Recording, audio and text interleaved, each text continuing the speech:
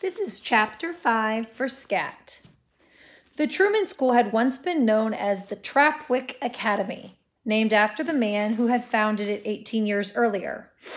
Vincent Z. Trapwick was a rich Rhode Island banker who had moved to southwest Florida and gotten even richer.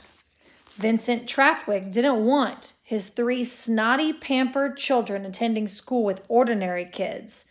So he started his own private school and kept out just about everyone who didn't have the same skin color, religion, or political view as Vincent Trapwick.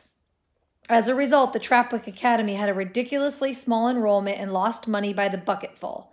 Although Vincent Trapwick didn't seem to care, when he died, he left $200,000 to the school, which was a generous amount but hearty enough to keep it running forever. So the Board of Trustees gradually loosened up the admissions policy and began reaching out to the community, recruiting all kinds of students. For the first time, scholarships were offered to bright kids and athletes whose families couldn't afford the expense of tuition. Enrollment grew steadily, and so did the Trapwick Academy reputation. Things were rolling along smoothly until Vincent Trapwick's own kids, now graduated and grown to adulthood, started getting into trouble. The eldest, Vincent Jr., was caught embezzling millions of dollars from his late father's bank to support wild gambling junkets to Monaco. The middle one, Sandra Sue, on three occasions had too much and drove off a golf cart, cart at the Naples Pier. The youngest, Iggy, was arrested for ripping off Social Security checks from old folks living in chains of shabby nursing homes that he owned. The name Trapwick kept popping up all over the newspapers and not in any way that was flattering to the Trapwick Academy. Ironically, the same spoiled children whom the school was created for had grown to become its most embarrassing advertisements. In an emergency meeting held late one night with Iggy after Iggy Trapwick had been stopped at the Sarasota airport the, um, and got arrested, the Board of Trustees voted unanimously to change the academy name. They close to they chose to call it Truman School after President Harry S. Truman, who had been dead for a long time and therefore was unlikely to cause any public relations problems. To save money, the board voted not to replace the entire granite salute to Vincent Z. Trapwick that stood in front of the school auditorium. Instead, a local sculptor was hired to chisel off Vincent Trapwick's face and reshape the remaining nub of stone into the stud- studious feature of the 33rd President of the United States. The sculptor did the best he could, working on a tight schedule and a low budget. The statue's new face was distinguished enough, but small as a kitten's. Unfortunately, the finished piece did not have a bearing strike resemblance to Harry S. Truman. The body was still all wrong and nothing could be done about it. Vincent Z. Trapwick had weighed 250 pounds while President Truman only weighed 175. President as a result, most people viewing the school statue for the first time had no idea who it was supposed to be. When Nick and Marta stepped off the bus, three sheriff deputies were standing by the old granite figure, gesturing aloud to the identity. What's going on? Marta said to Nick. Don't ask me. Maybe it's just say no day. Say, just say no day. Once a year, the Truman School brought in police officers, doctors, and counselors to speak to the students about drugs and alcohol abuse. However, the three deputies acted like they were on call. They carried clipboards and had their portable radios turned on. Something's up, said Marta. Nick agreed. Maybe there was another break in. Over the Christmas holidays, burglars had stolen several laptops from the school computer lab. The culprits were two teenage brothers from Fort Myers who were later caught speeding through the red light and the missing laptop stacked in the bed of his father's pickup truck. The kids had confessed that they intended to pawn the computers and use the money to buy video games. Marta nudged Nick and told him to ask the deputies why they were here. Probably because his dad was a military officer. Nick had no problem dealing with authority figures, except for Mrs. Starch. As he approached one of the deputies, he heard them joking about the Harry Truman statue looking like a bowling pin in an overcoat. Excuse me, Nick interrupted in politely. Did something happen here at school this morning? Caught by surprise, the deputy suddenly got serious. We can't talk about it. Your principal will make an announcement. The headmaster, you mean? Nick said. Same difference. The first bell rang and students started pouring into the auditorium. Marta and Nick found an empty row in the back. Usually, the morning assembly was incredibly boring, a good opportunity to finish your homework. But, or to return your text messages. After the daily blessing, which seemed to drag on forever, Dr. Dressler approached the podium and said he had a short statement to read. He unfolded a sheet of paper and began. Some of you know yesterday's field trip to the Blackvine Swamp was ended early because a wildfire broke out in the area. Nick snapped shut his algebra book and sat up. Marta turned off her cell phone. All Truman students were evacuated promptly and returned to the campus safely, Dr. Dressler went on. However, one of our biology teachers, Mrs. Starch, went back down the hiking path to retrieve a student's medicine. She didn't return to school and hasn't been seen, so we have no we have reason to believe she might have gotten lost or had to spend the night in the swamp. The murmur rippled through the auditorium. Middle Marta pinched Nick and said, "Oh my gosh." Nick's mind was racing. He hadn't yet told Marta that he and his mother had seen the videotape and that he thought what was a panther was actually a human being scrambling through the cypresses. Now Nick couldn't help but wonder if that mystery figure wearing the dark belt, the person who probably made the creepy animal cry, was involved in Mrs. Starch's disappearance. What if it was smoke, he thought? What if he went crazy and did something awful? Nick pried Marta's fingers from his arm. The authorities were out here at daybreak to continue searching for Mrs. Starch. Dr. Dressler continued from the stage. Fortunately, the fire went out and the weather last night was mild, so there's no reason to believe she's in any danger. The search teams were experiences and were exper- are experienced and very thorough, and I'm confident of a po- positive outcome. Nick whispered, I don't see smoke anywhere. Marta looked up and down the rows of heads in the auditorium. He's probably just late, she said. He's always late for assembly. Yeah, this is so freaky, Nick. Marta puffed her cheeks out and let the air hiss out. I mean, I can't stand the woman, but to think that she got lost in the swamp at the podium, Dr. Dressler turned the paper over and continued reading. You probably noticed some law enforcement officers on campus this morning. Please do not be alarmed or make any rash assumptions. It's routine procedure in such cases. Students in Mrs. Starch's classes and others who went on the field trip may be called aside to chat with the deputies today. I encourage you to be as helpful as you can. Marta said, I better call my mom. What for? Nick said. In case there's gonna be something on TV. She's gonna wig out. Dr. Dressler concluded his pre- prepared statement and moved on to less exciting announcements about the upcoming soccer tournament. A change in the lunch menu and a new rule for the class dress code banned all styles of open toed sandals on campus. The students weren't listening, they were buzzing about Mrs. Starch. The mood in the auditorium was one restless curiosity, not worry. Thanks to the headmaster's reassuring speech, most of the kids believed that the searchers would soon locate the missing teacher. Once Mrs. Starch was found, the Blackvine Swamp episode would only add to her colorful legend. After assembly, Nick and Marta stood up by the Harry Truman st- statue waiting for the bell. Libby Marshall rushed over, highly agitated.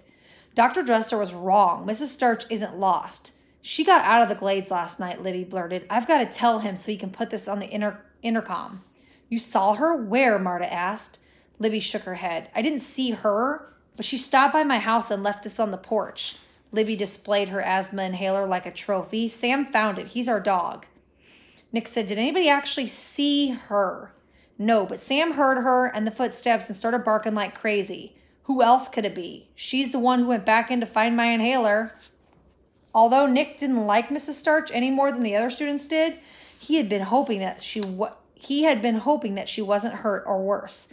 Libby's news was very encouraging. I wonder why she didn't knock, he said. Because it was late, Livy said impatiently, and the lights were off. She probably didn't want to wake anybody up. That makes sense to Nick and Marta. Now I've got to go find Dr. Droopy Dr. Dressler, said Libby, and straighten him out. She hurried off.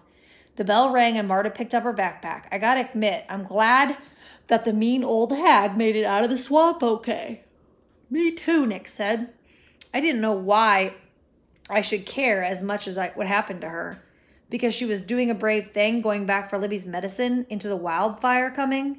Marta shrugged. Yeah, even witches have their good days. Dr. Dressler was hopeful but perplexed.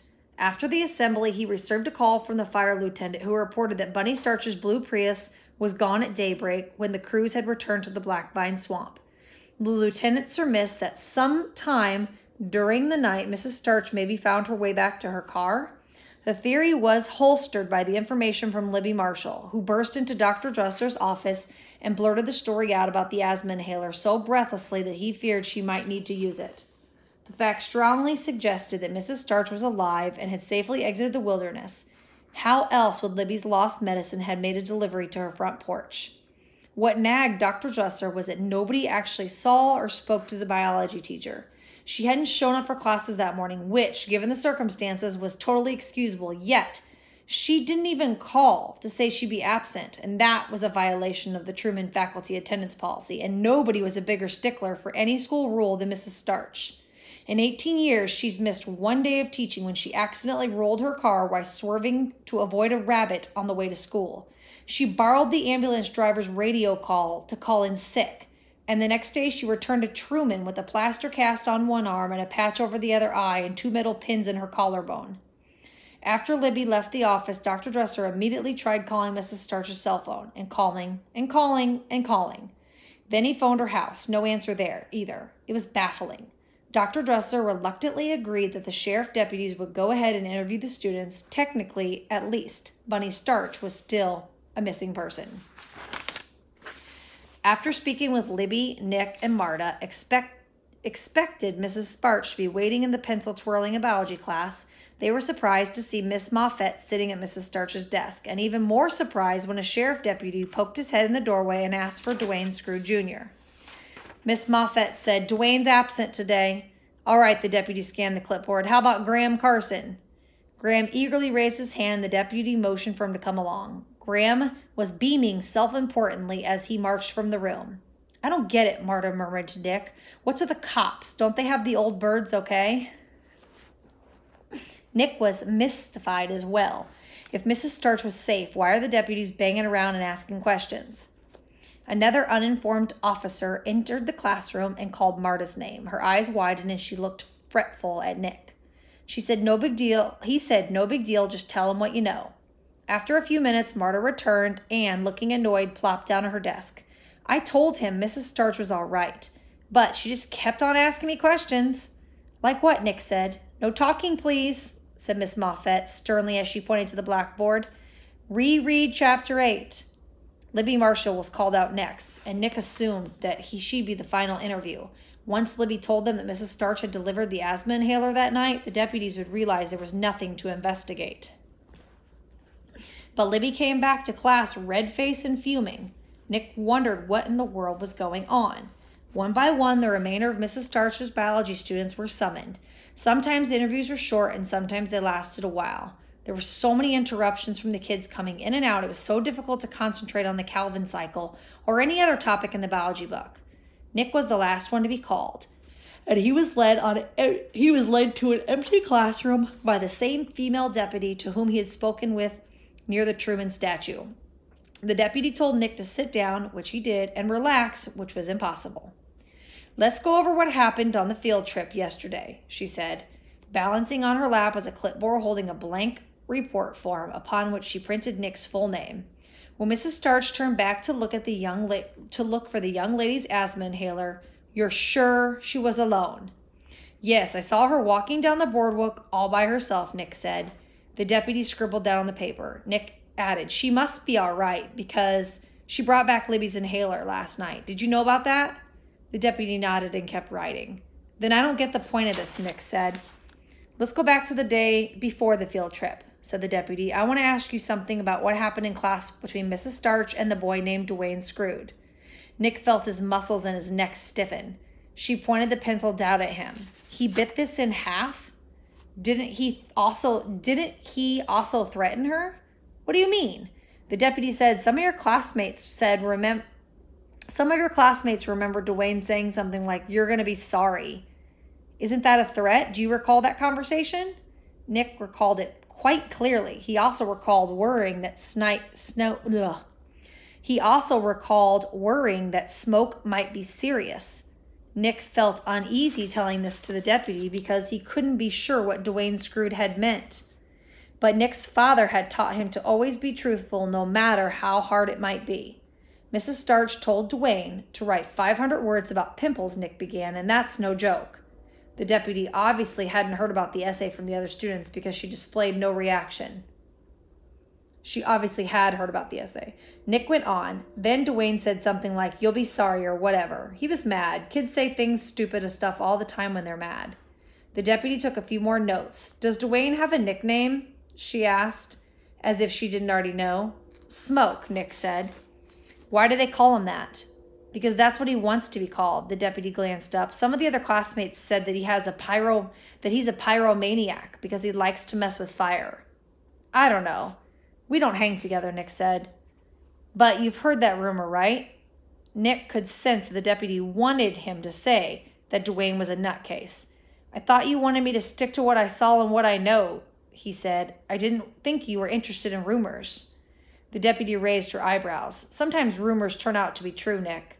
Can I go back to class? She said the wildfire at the Blackvine Swamp wasn't really a wildfire, it was arson. What? The investigators called it a controlled burn.